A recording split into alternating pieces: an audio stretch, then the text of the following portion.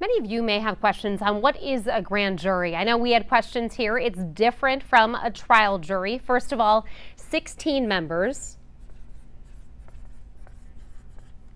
and three alternates, and 12 of those members have to agree to get a true bill or an indictment in a case. All of this is done in secrecy.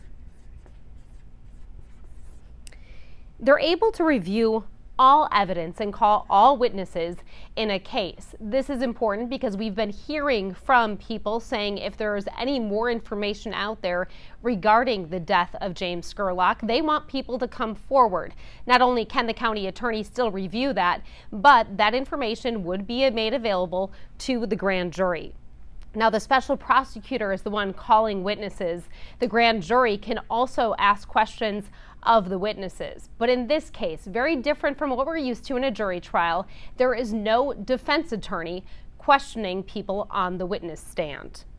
Now, once there is a true bill or indictment, if there is in a case an indictment,